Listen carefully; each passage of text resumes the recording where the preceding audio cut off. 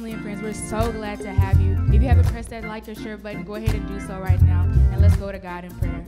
Father God, in the name of Jesus, we thank you for today, God. We thank you for life, health, and strength, God. We thank you for getting us through this week, Father God. We thank you for healing, protecting, and delivering us this week, God. Thank you for the struggles, God, and thank you for the accomplishments, God. We ask that you continue to protect our families, bless our homes, provide food for us, and God, just be a shield that you've always been, God. In Jesus' mighty name, we do pray. Amen. Listen, I've been saying this a few times. If you are at home, push the share button. Let somebody know that it's time to give God the praise. Come on, come on, come on. If you're in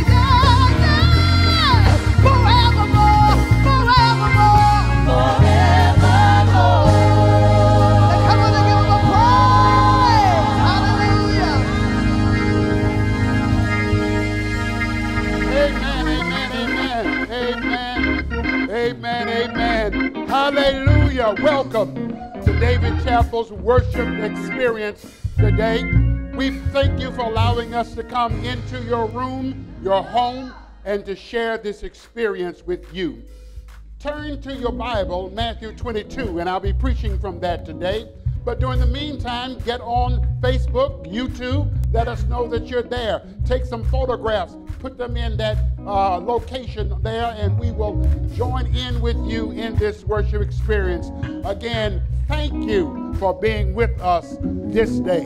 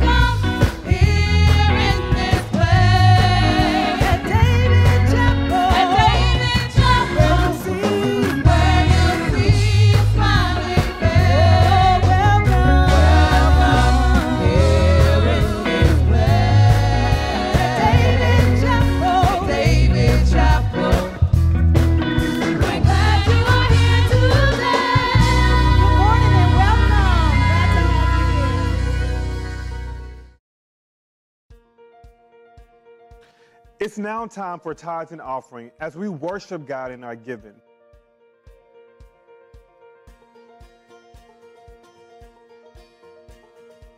As 2 Corinthians 9 6 through 7 reminds us, whoever sows sparingly will also reap sparingly, and whoever sows bountifully will also reap bountifully. Each one must give as he has decided in his heart, not reluctantly or under compulsion, for God loves a cheerful giver. As we pause to offer our gift, we have four ways to give right now or at any time during the week. One, you may drop off your giving at our mail slot located on the MLK side of our church. Two, text DCMBC to 77977 from your phone. Three, download the PushPay app and search for David Chapel Missionary Baptist Church. And four, you may mail in your giving to our church address 2211 East Martin Luther King Jr. Boulevard, Austin, Texas 78702.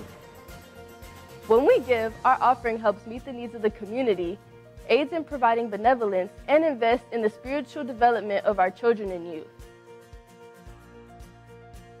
Our giving honors God and enables us to further our mission as a church with a heart for the community. Thank you, and God bless.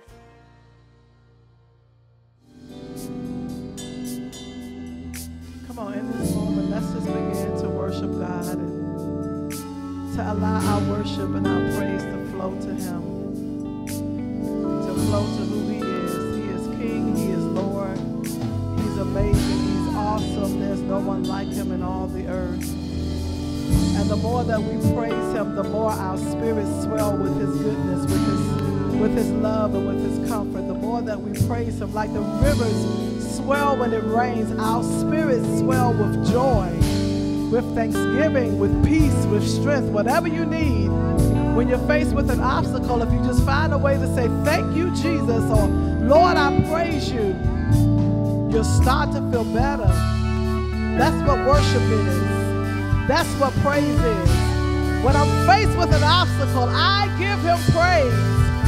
No matter what's going on in my life, everything around me may be shaky and may be confusion, but I find a way to worship him and I find a way to praise him and I find a way to press through until I feel much better. So if you just find a way to worship, find a way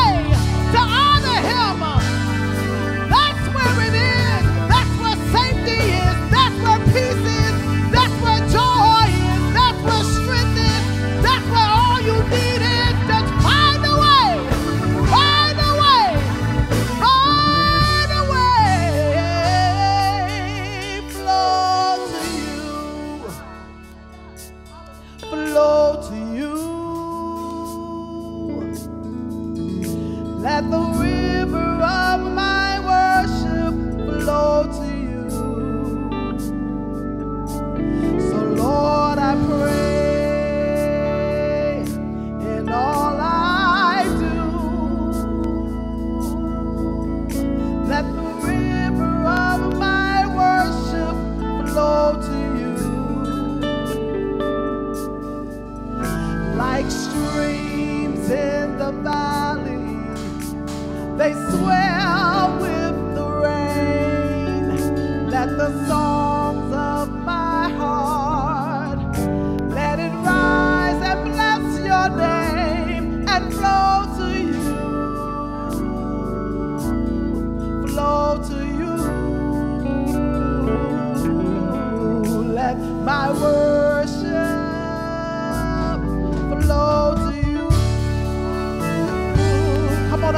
belly, let your worship flow to him.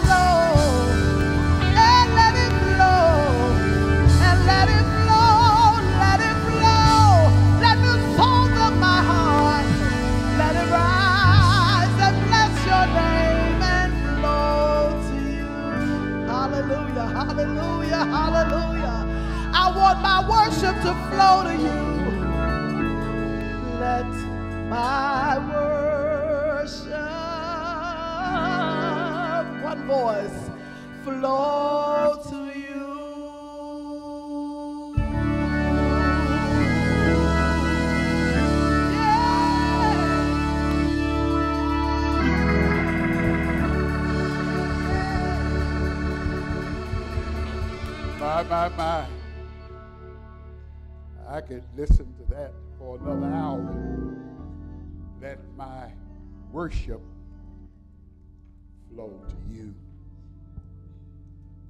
Thank you for joining us again.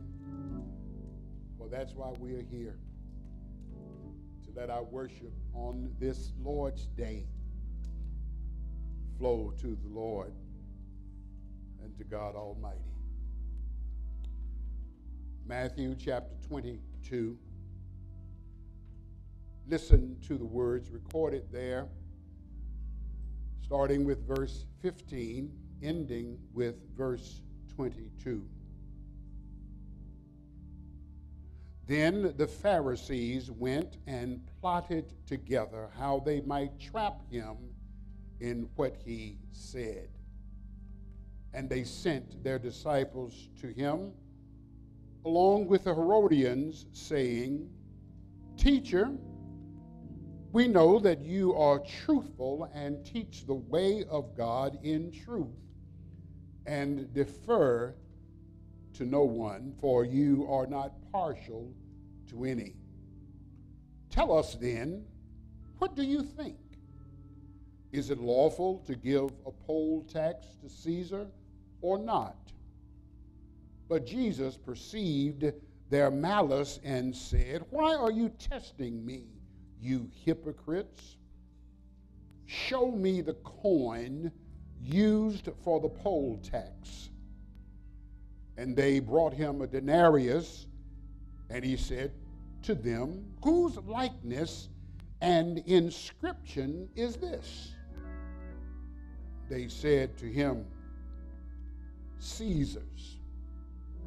Then he said to them, then render to Caesar the things that are Caesar's, and to God the things that are God's.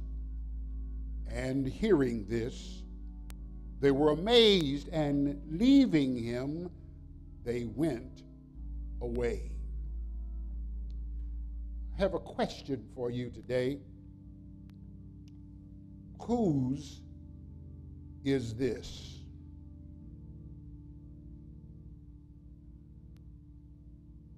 Living our lives is like perpetually asking the question whose is this? The this to which I refer is everything you have or everything you influence. It is about ownership, it is about stewardship, possession and the use of everything that you have. That includes your money, your attitude, your life, those material and immaterial things that you possess. The answer to this question should be given by the Lord. at least for those of us who are his people. The God desired answer is to whom should we give or render for ownership, for stewardship, for possession, for their use, or out of our duty? You see, when Jesus had this encounter in our scripture and he was in the temple, it comes at census time in Palestine. It was time that involved a register, valuation of property in accordance with which taxes were required by the Roman government to be paid yearly. The religious leaders and persons who were supporters of the Roman government that occupied Palestine but opposed Jesus plotted to set a trap for him. For they had heard him teach in the temple, and the record says that he had been teaching them parables. they believed that they could get him to show either sympathy with Rome or rebellion against Rome by asking him to show or to tell whether it was lawful or not to give a poll tax to the emperor. But he busted them, calling them hypocrites, which also meant they were persons who professed beliefs and opinions that they really did not but they pretended so that they could conceal their real feelings or motives. You see, fundamentally, our lives are about that as well. Every day we live in response to the question who gets this payment? Whose is this? I believe Jesus answers that for us by saying that whoever gets your allegiance, it's theirs. You see, before Jesus answered, he asked them to show him the coin used to pay the poll tax. They brought the coin to him. And looking at the coin and holding the coin, Jesus asked, Whose likeness and whose encryption is this? This was an allegiance question. They answered, It is Caesar's likeness and Caesar's inscription.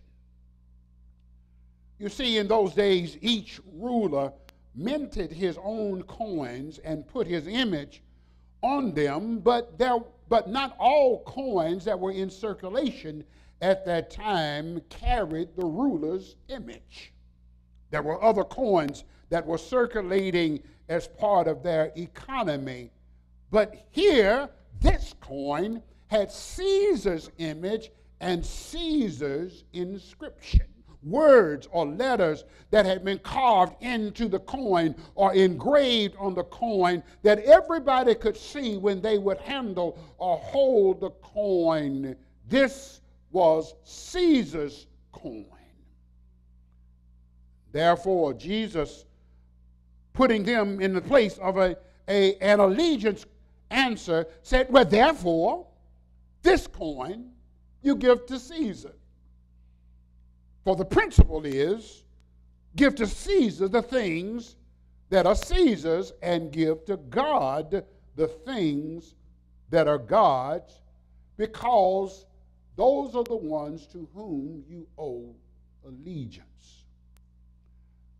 Today we live in a time when there are competing powers and influences that vie to own us, that want to sway us and capture our allegiance, but the Bible says that God's image is on all humankind, and everything, Psalm 24 says, belongs to the Lord. Therefore, the Lord's likeness and inscription should be on those who are his followers in particular, showing that we understand that God owns us and that we give God our allegiance in everything that we possess, in every area in which we have influence. And when we recognize that, we are saying to the world and to ourselves that God's ownership means that God will not forsake us, God will provide for us. Some of us don't like God's ownership. Just like the NBA star Alonzo Mourning, he said that on one occasion that when the Charlotte Hornets were under a new ownership, and they made some decisions, went in a direction that he did not like. He said, I was not pleased with the new owner. Somebody right there, you came to the Lord, you gave him new ownership of your life. But now that you have become more informed and aware of what is required under the Lord's ownership, you are not pleased, and so you rebel against it. So the question for you is who gets your allegiance then?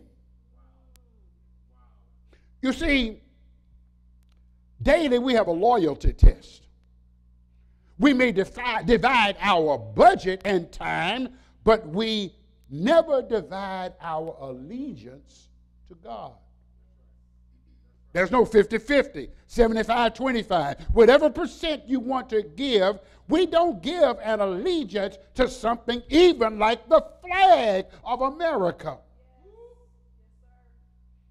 I'm seeing in these days there seems to be those who are more loyal to the flag than they are to the Lord. I'm talking to those who are my brothers and sisters in Christ.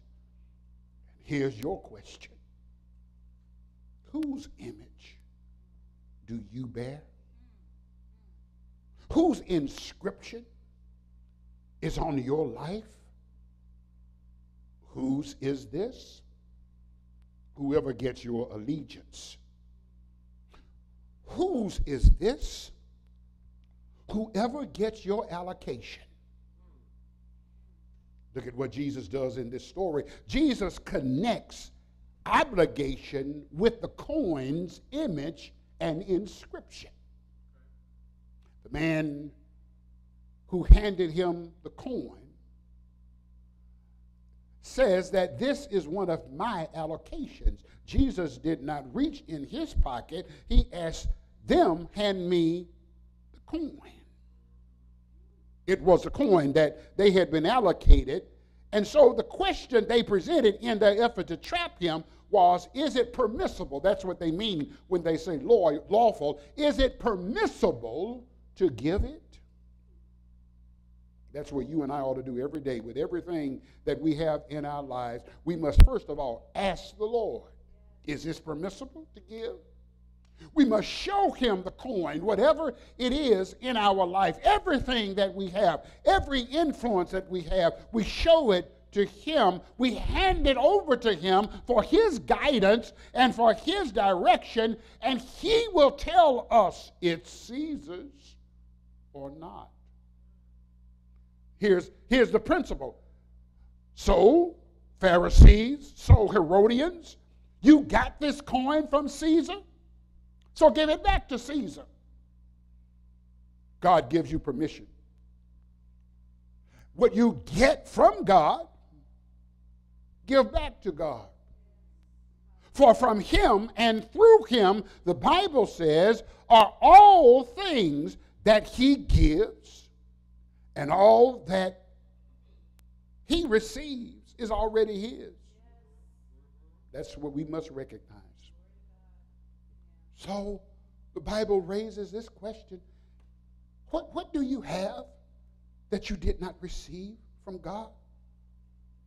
And we can become short sighted when we do not live as if all of our possessions are gifts from God and that God owns everything that we have.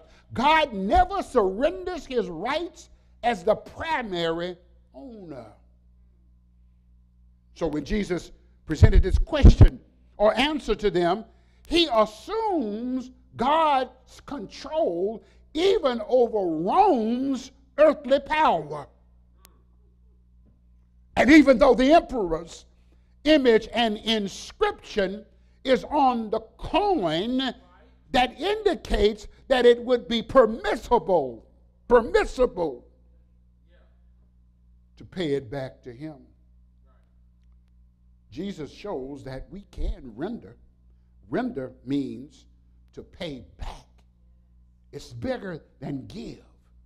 It means you recognize that you got it from that person and you are rendering it back. What shall I render to the Lord for all I have received and benefited from? He says, You can give to others if you keep your priorities straight. 1996, we had a member by the name of Helen Wilson who is a poet.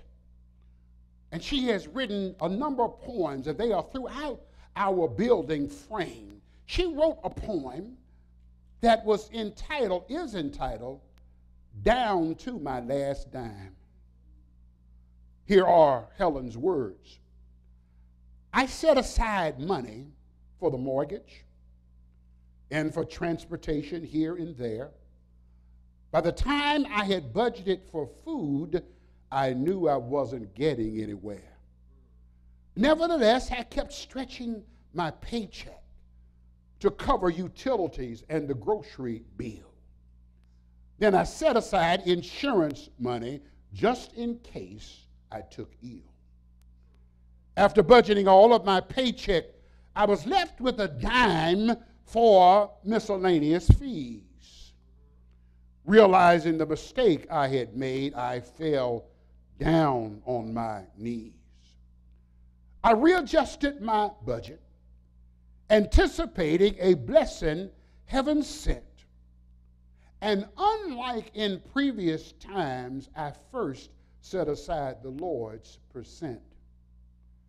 This time, when I got to the end of the list, I had dollars above a dime.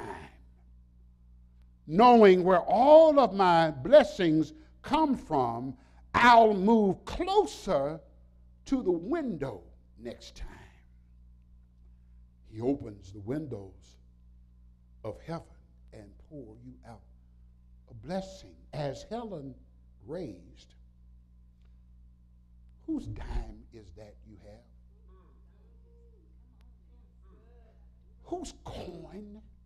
Your life, your possessions, immaterial, material, your influence? Whose dime is that? Another question she raised whose percent is that? Whoever gets your allocation is whose it is. Whose is this? Your coin, your percent of your life, your possession, whoever gets your allegiance, whoever gets your allocation, and whoever gets your adoration. This coin was a tribute to Caesar, a poll tax. It was, in some translations, appropriately uh, translated as tribute money meaning that when they gave that coin, it was showing respect to Caesar, admiration to Caesar, submission to Caesar, and dependence on Caesar. So, when Jesus said, since you got this coin that bears his image and inscription, you obviously got it from Caesar, even though I permitted it. So render the adoration of this coin to him. Give back what is rightly due to Caesar. But make sure that you also give it back to God. Pay your taxes. Thank you, Lord, for giving me the money to pay my tribute money to the earthly leader you have provided. But I recognize I am honoring you. Here's it, here it is. Whoever you got it from, give it back to them. You have your life, you have your breath, your strength, your influence, opportunities, your job, your retirement. Render it to God regularly. What can you do each day that demonstrates that you recognize that everything and all that you have is God's? Contentment, peace, joy, not stressing out, even though your circumstance might dictate that you should, complaining because you are isolated, that you are in home. Did you hear what I say? In home, you got a roof over your head. You're not homeless on the street. You're not standing in the food line. But even if you are in the food line, somebody is still providing food for you. Even if you're under a tent, somebody's providing a tent from you. Whose is this? And whoever's likeness and is inscription is on your coin is the one to whom you should give adoration. And the more of God's image and inscription we have, the more we render. And only as you and I attain God's image and inscription on us shall we truly render to Him what we know is due Him. God says, give what you are duty bound.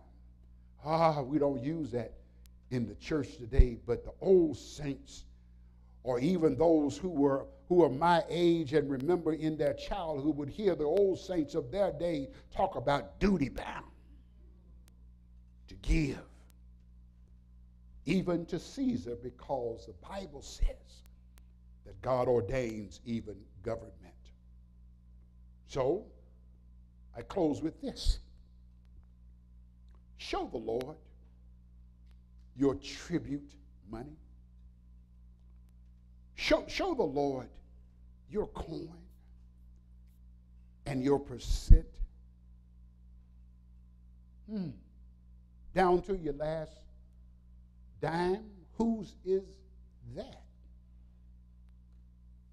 So here's how you answer it. Be honest with yourself and say, whose likeness and whose inscription is on my life, on my time, on my influence, on my money, on everything that I have. This is how I resolved it. All I have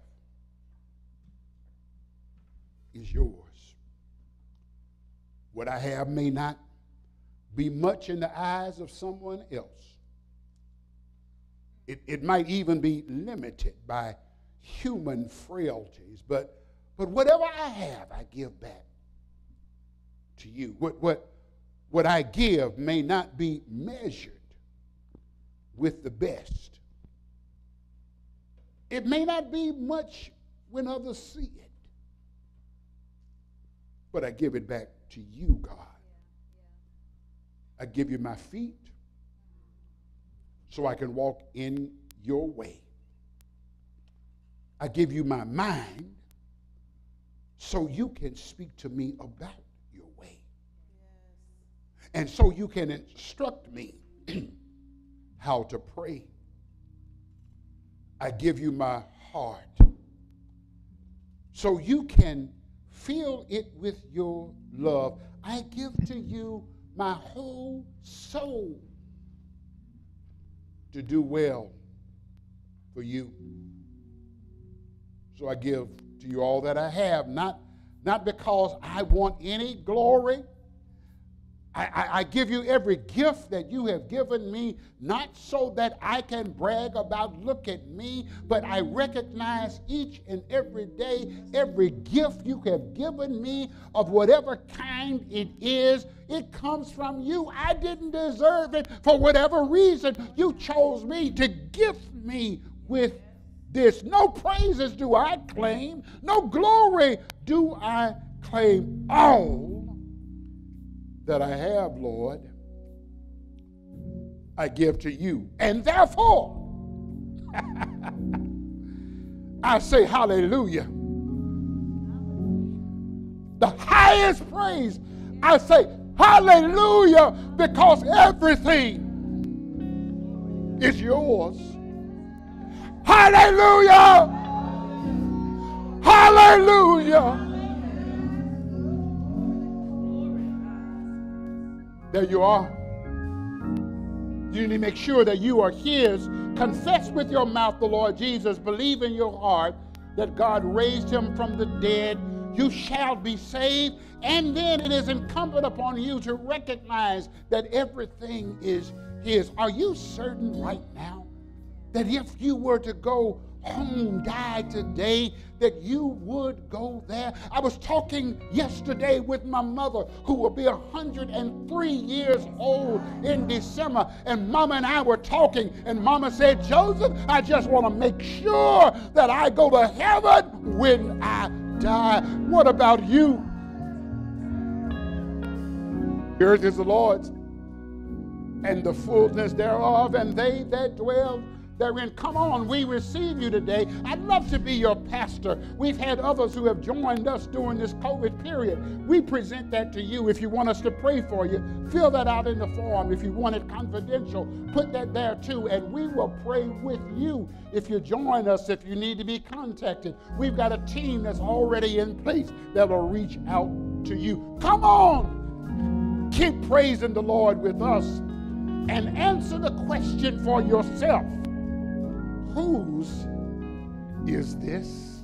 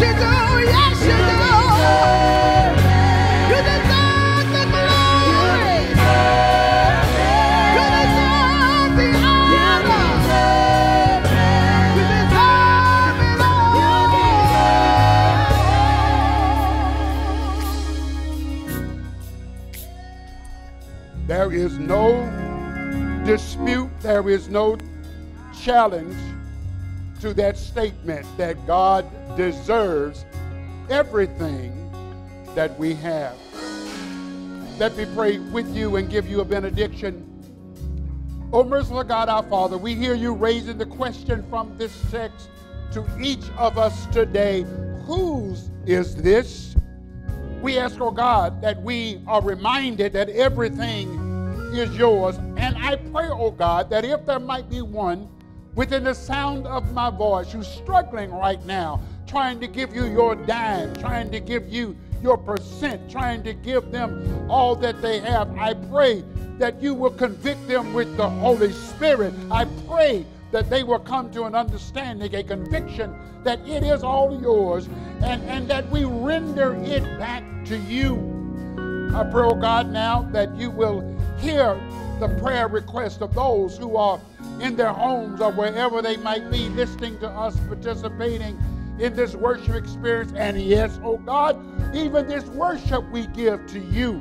Yes, oh God, even this glory we give to you. Yes, oh God, everything that we have, our sickness, our, uh, our grief, our sorrow, our challenges, our anxieties, our problems, our despair, we turn it over to you. Handle it, Lord. Handle it, Lord. Take it, Lord, because you are able to handle anything that comes into our lives. You are, you are still able to do far beyond what we can imagine or think. Take it, Lord. I'm putting it at your feet right now. I'm taking it, Lord. All that concerns me, I'm taking it, Lord, and giving to you. I'm giving you all the glory, all the praise, all the honor. In the name of Jesus, we give it to you.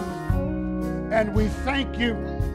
Make yourself known to whoever is listening now comfort them, strengthen them, hold them up on every leaning side, put a hedge of protection around them, and as they draw to you, oh God, grant them what they need. So we say in the words of Peter, a final blessing, let us grow in grace and in the knowledge of our Lord and Savior Jesus Christ.